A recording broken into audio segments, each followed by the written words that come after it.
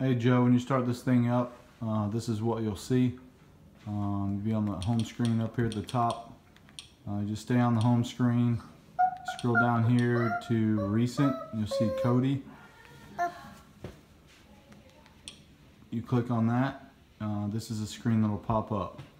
I operate mostly under Exodus. Uh, you can probably do a, a quick Google search and uh, find out what all these other apps are or just kind of play around with it.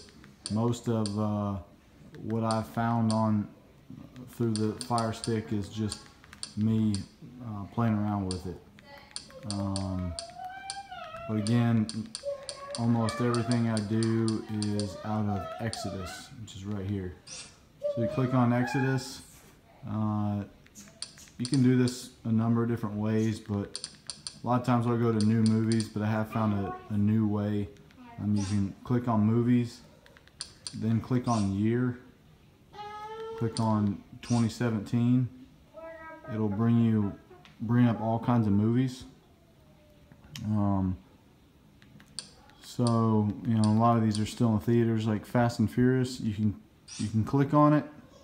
Um, sometimes there'll be good copies really quickly. For for example, Logan uh, had an HD quality copy while it was still in the theaters. Uh, no subtitles, none of that. Um, however, I did just watch uh, Fast and Furious, the most recent one, recently over the this past weekend, and it wasn't the best. It was kind of a, a camera quality.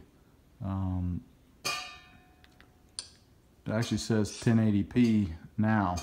Uh, so click on it. If that one doesn't open,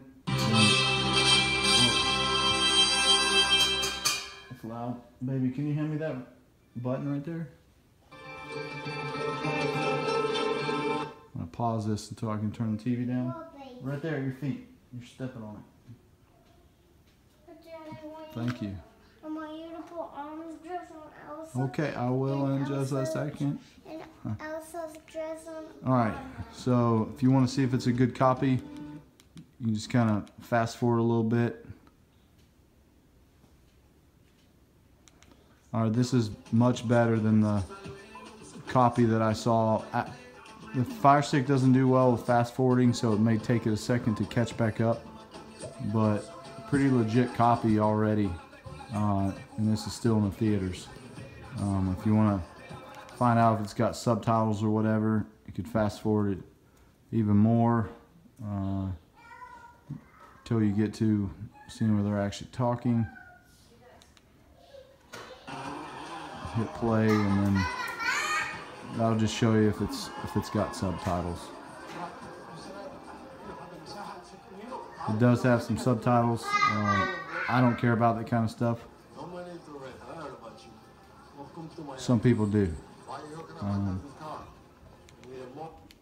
push the back button. Go to you know what other, whatever other movies you want. Um, you can also, if it's an older movie, you don't know what year it is. Uh, I always uh, just click movies and then go to the bottom, hit search, and and you type in whatever. Um, for example, um, I think this is like a 1980 movie.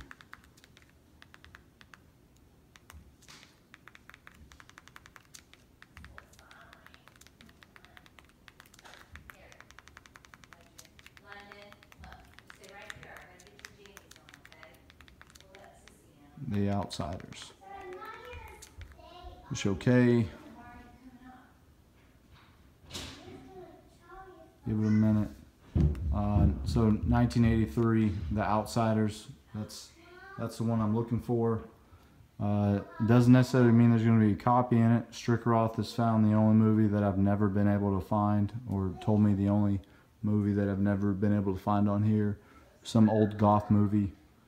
Uh, I actually found the DVD online and bought it for him since he uh, since we couldn't find it on here. Uh, but you click on it, you let it do its thing, and then it'll show you if it's got any any copies.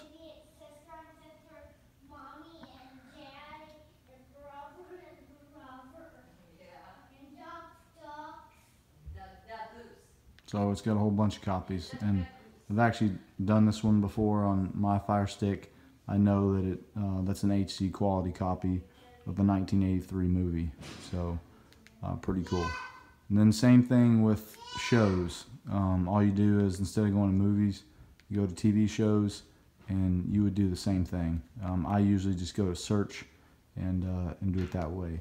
There's probably a million other things that you can do with this thing, but um, that is basically what I use all for. I've heard that uh, after I talked about this, Navarrete became a genius with it and can download all kinds of things. So uh, he may be someone to go to. But I hope that helps.